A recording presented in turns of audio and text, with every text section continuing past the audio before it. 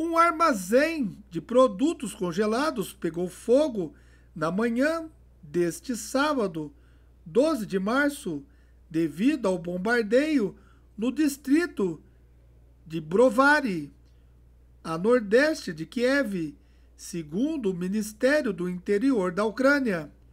O bombardeio teria ocorrido na vila de Kivitnev por volta das 3 horas e 30 minutos da manhã, no horário local.